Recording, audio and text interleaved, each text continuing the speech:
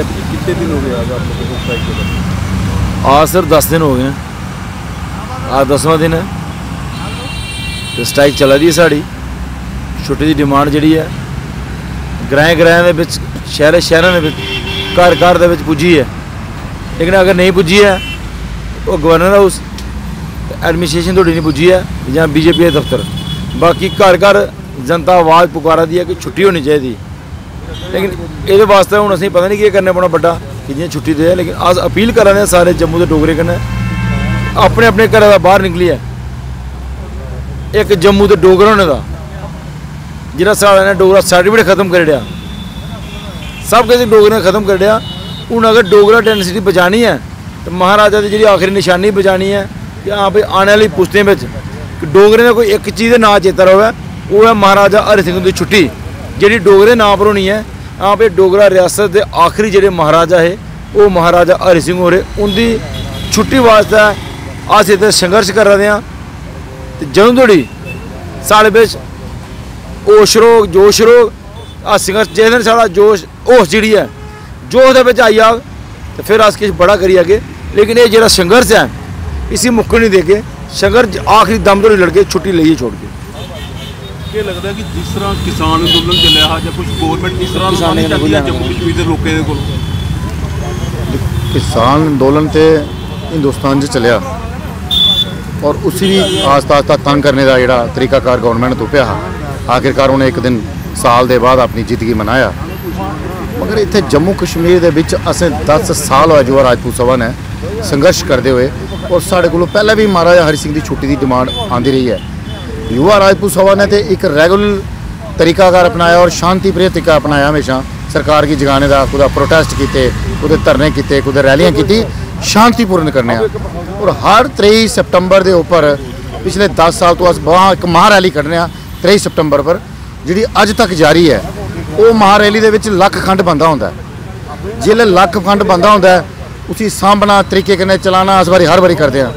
ਮਗਰ ਇਸ ਵਾਰ ਪਹਿਲੀ ਵਾਰੀ ਹੈਪੀ ਦੀ ਸਾਡੀ ਦੀ ਪ੍ਰਧਾਨਗੀ ਦੇ ਵਿੱਚ ਅਸੀਂ 23 ਹਰ 23 ਪਰ 23 ਸਤੰਬਰ ਦੀ ਨਹੀਂ, ਹਰ 23 ਜੀ ਅਸੀਂ ਸਰਕਾਰ ਦੀ ਜਲਤ ਲਾਣੇ ਦਾ ਤਰੀਕਾ ਕਿਤੋਂ ਪਿਆ ਝੁਣਕਣੇ ਦੀ ਕੋਸ਼ਿਸ਼ ਕੀਤੀ, ਤਾਂ ਇਹ ਜਿਹੜੀ 23 ਹੈ, ਹੁਣ ਸਤੰਬਰ ਆਣੇ ਵਾਲੀ ਅੱਧ ਹੋਈ ਔਰ ਜਿਹੜੀ ਪਿਛਲੀ ਅਗਸਤ ਗਈ ਹੈ, ਅਸੀਂ ਉਸ ਦਿਨ ਧਰਨੇ ਦਾ ਸ਼ੁਰੂਆਤ ਕੀਤੀ ਅੱਜ ਸਾਨੂੰ 10 ਦਿਨ ਹੋਈ ਹੈ, ਰੈਗੂਲਰ ਧਰਨੇ ਪਰ ਬੈਠੇ ਹੋਏ, ਭੁੱਖ ਹੜਤਾਲ ਪਰ ਬੈਠੇ ਹੋਏ ਔਰ ਉਹਦੇ ਵਿੱਚ ਇਹਨੇ ਸਾਨੂੰ ਇੱਕ ਦਿਨ ਚੁੱਕੀ ਹੈ, ਪੁਲਿਸ ਲਾਈਨ ਅੰਦਰ ਬੰਦ ਵੀ ਕੀਤਾ ਔਰ ਰਾਤੀ 12 ਵਜੇ ਆਈ ਹੈ ਸਾਡੇ ਜੰਮੂ ਦੇ ਡੋਗਰੇ ਸਾਨੂੰ ਆਪਣੀ ਜਦੋਜਹਿਦ ਕਰਨੇ ਧਰਨਾ ਦਿੱਤਾ ਪੁਲਿਸ ਲਾਈਨ ਦੇ ਬਾਹਰ ਔਰ ਰਾਤੀ 12 ਵਜੇ ਸਾਨੂੰ ਛੁਡਾਇਆ।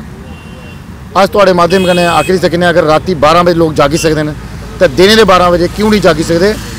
ਅੱਜ ਵੀ ਸਾਡੇ ਲੋਕ ਅਲੱਗ-ਅਲੱਗ ਜਗ੍ਹਾ ਪ੍ਰੋਟੈਸਟ ਕਰਾ ਦੇਣ ਹਰ ਡਿਸਟ੍ਰਿਕਟ 'ਚ ਪ੍ਰੋਟੈਸਟ ਕਰਾ ਦੇਣ ਲੋਕ ਤੇ ਜਾਗਾ ਦੇਣ ਮਗਰ ਸਰਕਾਰ ਨਹੀਂ ਜਾਗਾ ਦੀ ਔਰ ਸਰਕਾਰ ਅੱਜ ਤੁਸੀਂ ਦਿਖਾ ਦੇ ਕਾਲਜਾਂ 'ਚ ਹੋਆਦਾ ਯੂਨੀਵਰਸਿਟੀਆਂ 'ਚ ਹੋਆਦਾ ਅੱਜ ਕਿੰਨੇ ਦੇਰ ਉਹਨੇ ਪੜ੍ਹੀ ਸਕਣੇ ਆ ਕਿੰਨੇ ਦੇਰ ਉਹਨੇ ਸਮਝਾਈ ਸਕਣੇ ਆ ਨੌਜਵਾਨਾਂ ਦੀ ਐਜੀਟੇਸ਼ਨ ਹੈ ਦੁਨੀਆ ਜਾਣਦੀ ਹੈ ਜਿਲੇ ਜਿਲੇ ਨੌਜਵਾਨ ਉੱਠਦਾ ਹੈ, ਉਹਲਾ ਕੋਈ ਨਾ ਕੋਈ ਚੇਂਜਿੰਗ ਆਉਂਦੀ ਹੈ।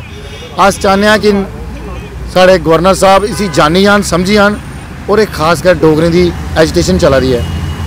ਕੋਈ ਦਿਨ ਐਸਾ ਆਈ ਜਾਣਾ ਹੁਣ 23 ਸਤੰਬਰ ਕੋਲ ਪਹਿਲਾਂ ਪਹਿਲਾਂ। ਜਿਹੜਾ ਗੱਲ ਸਾਡੇ ਬੱਸ ਦੀ ਨਹੀਂ ਹੋਣੀ ਤੇ ਜਿਹੜੇ ਸਾਡੇ ਬੱਸ ਦੀ ਨਹੀਂ ਹੋਣੀ ਤਾਂ ਕੀ ਕੀ ਹੋਣਾ ਤੇ ਸਾਰੀ ਗੱਲ ਗਵਰਨਰ ਸਾਹਿਬ ਪਰ ਜਾਣੀ ਹੈ। ਅੱਜ ਗਵਰਨਰ ਸਾਹਿਬ ਕੋਲ ਛੁੱਟੀ ਨਹੀਂ ਲੈ ਮੰਗਦੇ ਆ ਸਿਰਫ ਇੰਨੀ ਗੱਲ ਆਖਦੇ ਆ ਜਿਹੜੀ ਜਿਹੜੀ ਤੁਸੀਂ ਕਮੇਟੀ ਬਣਾਈ, ਉਹਦੀ ਰਿਪੋਰਟ ਦੱਸੋ ਯੈਸ ਆਰ ਨੋ ਇਹ ਧਰਨਾ ਸਾਡਾ ਉਸੇ ਦਿਨ ਖਤਮ ਹੈ। ਬਾਕੀ ਗੱਲ ਸਾਡੀ 23 ਸਤੰਬਰ ਪਰ ਹੋ ਜੇ ਤੁਸੀਂ ਮੰਨੀ ਜਾਂਦੇ ਹੋ ਤਾਂ ਠੀਕ ਹੈ, ਨਹੀਂ ਮੰਨਦੇ ਹੋ ਤਾਂ 23 ਸਤੰਬਰ ਪਰ ਛੁੱਟੀ ਤਾਂ ਹੈਗਾ ਤਾਂ ਲੋਕਾਂ ਦਾ ਜਿਹੜਾ ਜਮਾਵੜਾ ਇਕੱਠਾ ਹੋਣਾ, ਉਹਦੇ ਵਿੱਚ ਕੀ ਹੋਣਾ, ਕੀ ਨਹੀਂ ਹੋਣਾ, ਇਹ ਸਰਕਾਰ ਦੀ ਜ਼ਿੰਮੇਵਾਰੀ ਹੈ। ਇਹ ਸਾਡੀ ਨੌਜਵਾਨੀ ਦੀ ਜ਼ਿੰਮੇਵਾਰੀ ਨਹੀਂ ਹੋਣੀ ਤੇ ਆਸ ਲੋਕ ਅੱਜ ਸਾਫ਼ ਕਰਨ ਆਖਦੇ ਆ ਵਕਤ ਰਹਿੰਦੇ ਇਹ ਉੱਠੀ ਜਾਣ ਨੀਂਦਰਾ ਤੇ ਚੰਗਾ।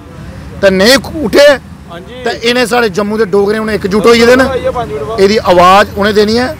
ਅਸ ਇੱਕ ਛੋਟੀ ਜਿਹੀ ਡਿਮਾਂਡ ਹੈ ਛੋਟੀ ਜਿਹੀ ਮਹਾਰਾਜਾ ਦਾ ਸ਼ਖਸੀਅਤ ਬੜੀ ਵੱਡੀ ਹੈ। ਜਿਹਨੇ ਜਿਹਨੇ ਜਿੰਨੇ ਜਿਹਨੇ ਰਿਫਾਰਮ ਲੈਂਦੇ ਇਸ ਸਟੇਟ ਤੇ ਕੀ ਨਹੀਂ ਕੀਤਾ। ਇਸ ਇੰਦੋ ਹਿੰਦੁਸਤਾਨ ਕਨਾ ਮਲਾਣੇ ਤੇ ਉਹਨੇ ਸਾਨੂੰ ਉਹ ਝੰਡਾ ਪਕੜਾਇਆ ਹਿੰਦੁਸਤਾਨ ਦਾ। ਆਪਣੀ ਤਨ ਮਨ ਧਨ ਜਿਹੜਾ ਮਹਾਰਾਜ ਹਰੀ ਸਿੰਘ ਨੇ ਡੋਨੇਟ ਕਰੀਏ, ਆਪੂ ਬੰਬੇ ਚਲੀਏ ਦੇ। ਐਸੇ ਮਹਾਰਾਜ ਇੱਥੇ ਕੋਈ ਆਖਿਆ ਤਾਂ ਸਹੀ ਨਹੀਂ ਇੱਕ ਦਿਨ ਕਿ ਕੋਈ ਪੰਜ ਮਰਲੇ ਦੀ, ਪੰਜ ਮਰਲੇ ਦੀ ਆਪਣੀ ਕੋਠੀ ਛੱਡੀਏ, ਚਲੀ ਆਏ ਉਹਨੇ ਤੇ ਲਦਾਖ ਕੋਲ ਲਈਏ ਤੇ ਲਖਨਪੁਰ ਤੱਕ ਇਸ ਸਟੇਟ ਕੀ ਛੱਡੀਏ ਤੇ ਚਲੀਏ ਸਾਡੇ ਡੋਗਰੇ ਤਾਈਂ। ਤੇ ਸਾਡੇ ਜੰਮੂ ਦੇ ਡੋਗਰੇ, ਅੱਜ ਕਿਆ ਉਸ ਪੰਜ ਮਰਲੇ ਚੋਂ ਬਾਹਰ ਆਈ ਆ ਮਹਾਰਾਜਾ ਹਰੀ ਸਿੰਘ ਦੇ, ਤਾਈਂ ਬਾਹਰ ਬਹਿ ਨਹੀਂ ਸਕਦੇ। ਅਸ ਡੋਗਰੇ ਕੇ ਇਹ ਅਪੀਲ ਕਰਨੇ ਆ ਕਿ ਇਹ ਜਿਹੜਾ ਜਿਹੜਾ ਧਰਨਾ ਸਾਡਾ ਪ੍ਰਦਰਸ਼ਨ ਔਰ ਭੁੱਖ ਹੜਤਾਲ ਚਲਾ ਸੀ ਸਮਰਥਨ ਕਰੋ ਔਰ 23 ਕੋਲੋਂ ਪਹਿਲਾਂ ਪਹਿਲਾਂ ਸਾਨੂੰ ਛੁੱਟੀ ਲੱਭੀ ਸਕਦੀ ਆ। ਨਹੀਂ ਤੇ 23 ਸਤੰਬਰ ਆ ਸਰਕਾਰ ਦੀ ਜਵਾਬ ਦੇਣ ਦੇ ਤਿਆਰ ਬੈਠੇ ਨੇ ਆ। ਬੜੇ ਸਾਰੇ ਲੀਡਰ ਜਿਹੜੇ ਦੂਜੀਆਂ ਪਾਰਟੀਆਂ 'ਚ ਆ ਇਹ ਅੱਜ ਮੌਜੂਦਾ ਗਵਰਨਮੈਂਟ ਦੇ ਜਿਹੜੇ ਐਲਜੀ ਸਾਹਿਬ ਨੇ ਉਸੇ ਪਾਰਟੀ ਵਿੱਚ ਆਈ ਜਾਂਦੇ ਨੇ। ਉਹਦਾ ਕੀ ਆਖਣਾ ਹੈ? ਉਹਦਾ ਕੋਈ ਪ੍ਰੈਸ਼ਰ ਬਿਲਡ ਨਹੀਂ ਹੁੰਦਾ ਉਹਦੇ ਉੱਪਰ। ਦੇਖੋ ਸਾਡੇ ਸਾਥੀਆਂ ਕਈ ਵਾਰ ਆਖਿਆ ਕਿ ਅਸੀਂ ਤੂੰ ਜਿਤਾਈ ਹੈ ਪੰਜੀ ਐਮਐਲਏ ਭੇਜੇ। ਉਹਦੀ ਪੰਜੀ ਐਮਐਲਏ ਦੇ ਪਰ ਕਈ ਐਮਪੀ ਬਣੇ ਤੇ ਕਈ ਐਮਐਲਸੀ ਬਣੇ। ਅੱਜ ਸ਼ਰਮ ਦੀ ਗੱਲ ਆਂਦੀ ਹੈ ਕਿ ਅਸ ਮਹਾਰਾਜਾ ਹਰੀ ਸਿੰਘ ਦੇ ਸਾਹਮਣੇ ਸਟੈਚੂ ਪਰ ਭੁੱਖੜ ਧਾਲ ਪਰ ਬੈਠੇ ਆ। ਤੇ ਸਾਡੇ ਦਿਲਾਂ 'ਚ ਤੇ ਸਾਡੇ ਨੌਜਵਾਨਾਂ ਦੇ ਦਿਲਾਂ 'ਚ ਕੀ ਗੱਲ ਆਂਦੀ ਹੈ ਕਿ ਕਿਆ ਐਸੇ ਲੋਕਾਂ ਦੀ ਅਸੀਂ ਵੋਟ ਪਾਣਾ ਚਾਹੀਦਾ ਐਸੇ ਲੋਕਾਂ ਦੀ ਵੋਟ ਪਾਣਾ ਚਾਹੀਦਾ ਅਗਰ ਪਾਣੇ ਵੀ ਹਾਂ, ਤੇ ਸਾਡੇ ਨੌਜਵਾਨ ਇੰਨੇ ਦਿਨ ਹੋਇਆ ਤੇ ਭੁੱਖੜ ਧਾਲ ਪਰ ਬੜੀ ਸ਼ਰਮਿੰਦਗੀ ਦੀ ਗੱਲ ਹੈ ਕਿ ਇੱਕ ਦਿਨ ਵੀ ਇੱਥੇ ਆਈਏ ਨਹੀਂ ਬੈਠੀ ਸਕੇ। ਆਉਣ ਵਾਲਾ ਵਕਤ ਜਿਹੜਾ ਲੋਕ ਵੋਟੇ ਦੇ ਲਈ ਨਹੀਂ ਵੀ ਜਵਾਬ ਦੇਣਗੇ ਕਿ ਜਿਹੜੀ ਗਲਤੀ ਤਾਂ ਬੀਜੇਪੀ ਦਾ ਇੱਕ ਐਮਐਲਏ ਬੰਦਾ ਹੈ ਜਾਂ ਦੋ ਬੰਦੇ ਹੈ। ਤੇ ਪੰਜੀ ਐਮਐਲਏ ਦਿੱਤੇ ਡੋਗਰੀ ਦੀ ਆਵਾਜ਼ ਚੁੱਕਣੇ ਤਾਈਂ। ਅੱਜ ਉਹ ਹੈ ਪੰਜੀ ਐਮਐਲਏ ਸਾਡੇ ਇਨੀ ਸਭਾ ਦੀ ਆਵਾਜ਼ ਕੀ ਦਬਾ ਦੇਣ? ਬੜੀ ਸ਼ਰਮਿੰਦਗੀ ਦੀ ਗੱਲ ਹੈ। ਔਰ ਇਨੇ ਹੀ ਲੋਕ ਜਵਾਬ ਦੇਣਗੇ? ਬੜੇ ਅੱਛੇ ਤਰੀਕੇ ਨਾਲ ਦੇਣਗੇ। ਅੱਜ ਵੀ ਵਕਤ ਰਹਿੰਦੇ ਆਖਣੇ ਕਿ ਸਾਡੇ ਕਨੇ ਬਈ ਆਓ ਤੇ ਜੰਮੂ ਦੇ ਮਹਾਰਾਜਾ ਹਰੀ ਸਿੰਘ ਦੀ ਜਵਾਜ਼ ਹੀ ਉਠਾਓ। ਅਗਰ ਇਹ ਡੋਗਰੇ ਨਹੀਂ ਖਵਾਏ, ਤੇ ਜੰਮੂ ਦੇ ਵਿੱਚ ਕੋਈ ਡੋਗਰਾ ਖਵਾਉਣ ਦੇ ਕਾਬਲ ਨਹੀਂ ਰਹਿਣਾ।